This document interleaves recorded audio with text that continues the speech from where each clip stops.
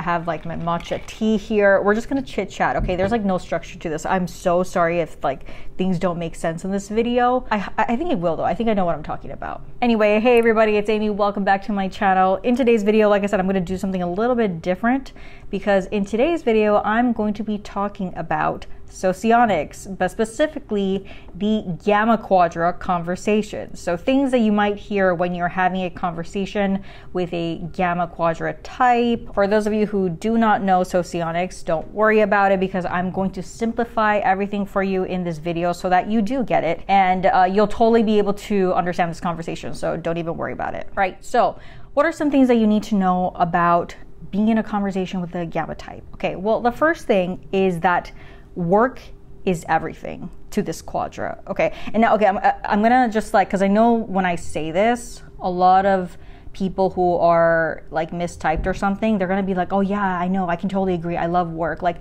no, that's not what I mean. So it's a little bit different from the Delta Quadra types who are more interested in ideas. So I think in the Delta Quadra conversation, you hear a lot about, you know, turning dreams into a reality kind of a conversation. It's very like idealistic. Um, it's a very comfortable, accepting quadra, you know, all about good faith judgments and accepting of differences, I guess. And while gammas may preach that, in their ideals. Like they may say that I'm a very, you know, accepting person. I have a lot of dreams and I'm all about anything is possible and yay, dreams come true kind of thing. They might say that, but this the gamma quadra is not going to demonstrate this in their actions, meaning they don't live that principle. And this is going to be very evident when you walk into a gamma conversation. So, when I say work is everything, I guess I also mean money is everything. so it's like they actually enjoy working and um, they money is kind of a big part of that. They'll just openly talk about salaries and stuff like that, you know, and it's like kind of off-putting at first because you're like, wow, that's like so rude, you know. it's like, but no, this is how important work is and it's just a normal conversation. Like they'll just be like how much money are you actually making though? You know? And it's not to say that gamma types are not sympathetic towards individual experiences because that's not that's not entirely true. I'm gonna uh, elaborate more on experiences later on. But what i'm saying is that um, they're not going to understand the nuances of individual experiences to the point where those nuances prevent us from doing something necessary in life, which is, I mean, money is very, I mean, I think that's necessary for anybody, right? Uh, survival is necessary for anybody. So when you talk about how you don't really have anything going on with your life, regardless of what the uh, the reason might be like maybe it's like you're going through something mentally, emotionally, maybe a family emergency or whatever the case. Uh, it, it is the gamma quadra types that kind of have a tendency to be like, okay, well, you know, here are some things you can do to like overcome that. You know, like you need to start going to therapy. You need like there's just this intent, this forward movement that in a gamma, unless you are a gamma type yourself, it's very, um, it's kind of off-putting, I guess. And you know, the thing I, I like to tell people, especially you know when I have these typing sessions, it's one thing to relate to the things I'm saying to. It's another thing to live it. You know, so it's like talk is cheap. So you can talk all you want about how these are your beliefs or these are not your beliefs. You know, maybe you are a gamma type yourself and you're like, I don't agree with any of that. I don't like, that's not how I act. You know, that's not what I believe in. But chances are, to people around you, you do have this aura about you. Meaning, you may not think you do this, but there is something about you in your presence that kind of demonstrates this outwardly. So I mentioned before that work is everything in the Gamma quadrant. You you better have some kind of a something a project that you're working on, okay?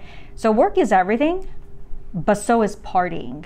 I think that the reason why the Gamma Quadras have this forward momentum so much is because they do naturally have a lot of sensual desires, I think. I think this is the nature of extroverted sensing in the gamma quadra types. Like if you compare an extroverted intuitive quadra versus an extroverted sensing quadra, the extroverted sensing quadra will most likely want to experience something sensual which is why you're going to have to engage with the reality in front of you in order to get that object of desire. Okay, this is gonna get a little bit abstract now. I don't even know if I should say this, but I don't care. If you guys understand what I'm saying, or if you wanna clarify it on your own, leave it down below in the comments. But basically, it's like, I think with extroverted sensing and introverted intuition, it's like time and space. So if you are acquiring space, then you already have an intuition of time. Because if you're trying to influence or obtain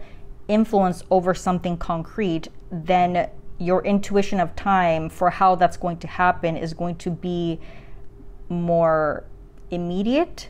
It may even be more accurate. Whereas if you are seeking an ideal, so that's not anything in space. If you're seeking some kind of an ideal or like a dream or something, your intuition of time will also not be there. You wouldn't have this sense of immediacy towards it because if anything you actually want to be more exploratory about it. You want to be more open-minded because you never know right? Which path will lead to that ideal. So work is everything but partying is everything too. And i do think that what differentiates the gamma quadra types is that they do like to party. They do like sensual experiences they like the finer things in life they like uh, even if they can't afford it uh, or whatever their situation may be, I think that they do value experience, which actually brings me to my next point. I think that the Gamma Quadras, as much as they are all about productivity, and while they may not have understanding of nuanced experiences, they very much like hearing your stories about intense experiences. So when you're talking to the Gamma Quadras, they're actually very open about talking about personal experiences.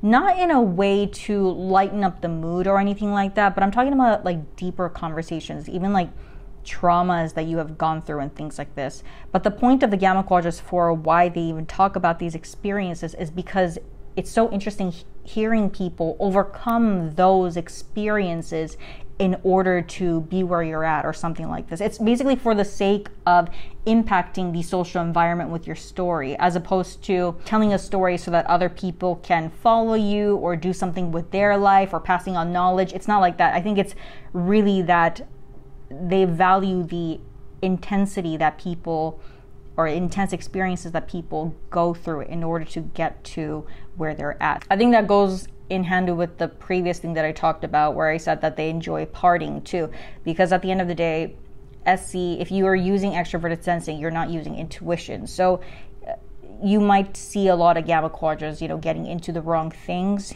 jumping into quickly, right, into new experiences and then messing up and messing up really badly, actually but the ability to rise above that you know that's the gamma quadra story. So I, think that also ties into why the gamma quadras love talking about work because it's if you're not really overcoming anything and if you are not really you know going through anything if you're just comfortable it's like oh, okay well that's nice but that ain't life, is it? You know, business logic is also a big one. So, with business logic, that is extroverted thinking.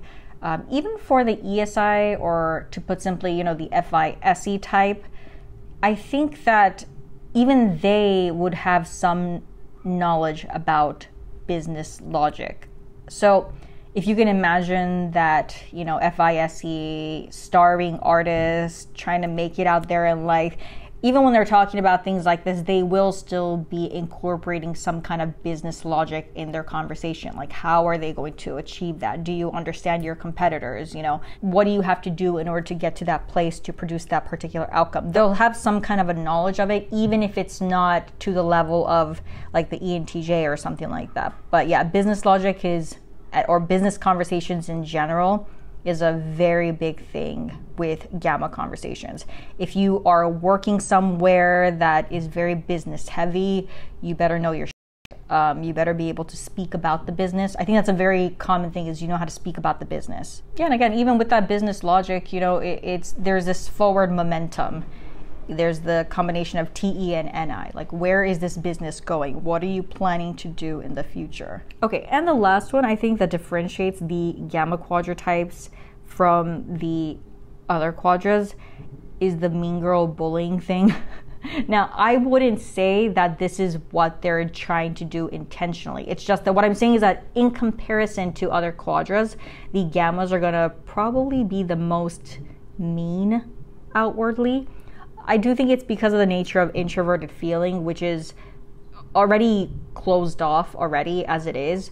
But on top of that, the introverted feeling is connected to introverted intuition, not even introverted sensing. So it's not about comfortable relationships like FISI. It's not about being able to pick up on the comfort levels of the group or anything like that.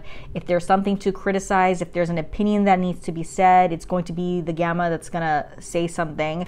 Uh, and not be afraid to say it either. Uh, there's some kind of a directness when it comes to the gamma quadrant. It's like this intensity. Uh, it's not going to be about niceties or saying things in a pleasant way so as to get a certain reaction. Like, no, gammas are just going to be like, what are you talking about? What do you mean? You know, it's just very blunt, very flat face, which may come across as kind of mean or bullying to other quadras, but that's not exactly the case. It really is like perfection is the enemy of progress. So TNI is always about progress and in order to progress, you're going to ruffle some feathers. That is just completely accepted in the gammas. This quadra is not about passion or comfort. It's really just about getting to that goal, even cutting corners if you have to. So, yeah, again, there's this like this bluntness, this direction, this forward momentum with T E N I yeah, so I think these are some of the points that I notice in Gamma Quadra conversations. I might be a little bit too harsh, but sometimes I like to over exaggerate things to get to the point so that it makes sense for most people. Also, like I mentioned in the beginning of the video, you know, talk is cheap. You might say that you relate to these points or you don't relate to these points, but at the end of the day, it's about your actions. But anyway, uh, I hope this video was fun. It was definitely fun for me to just kind of let out my insights. If you are not a gamma type, leave a comment down below. I want to hear about your interactions.